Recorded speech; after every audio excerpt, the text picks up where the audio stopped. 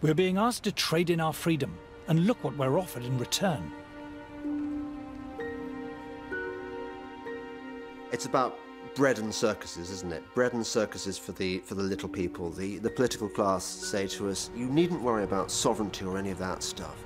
You're going to get better mobile phone rates, and that's the good news. And you're going to get slightly cheaper holidays.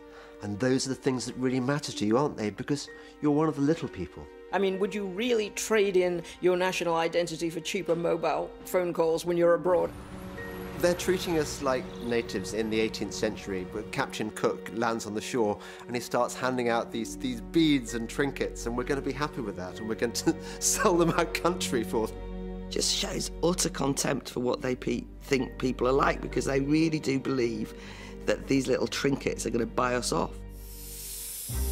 In the referendum, we will be asked to choose. Do we want to be governed by an organisation which we don't understand, run by people we don't know and haven't elected, who have the power to impose on us laws that we haven't debated and have little or no chance of blocking or repealing? Have you decided what you're... We need to regain the right for British people to make British laws. If people believe that the best way to strengthen the United Kingdom is to hand over every year more money and more power to an unaccountable bureaucratic elite in Brussels, then what they should do is campaign to stay in the European Union. It comes down to the essential issue the working man and woman of this country against people who think we have a better plan and a better mind than you. And if you don't like it, what are you going to do? And the answer is we're going to vote leave. So. There are a number of issues where I believe that we should be leaving. This is people versus the establishment, people versus the elite. I just hope that the mass of people who may not go around being interviewed much, may never get a look in on any of the media or television, come June the 23rd, will be out there saying, this is our chance to get our own back. Give us back control of our own country. With general elections, it doesn't really matter who you vote for, Conservative or Labour, because you know that in four years' time you can change your mind. This time you can't change your mind. This time is for keeps.